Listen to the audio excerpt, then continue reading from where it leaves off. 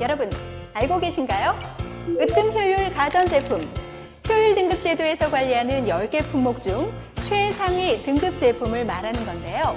전기요금 복지 할인 가구를 대상으로 으뜸 효율 가전제품 구매 비용을 환급해 드립니다.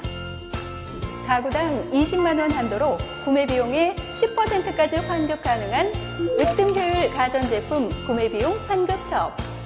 지금 함께 하세요.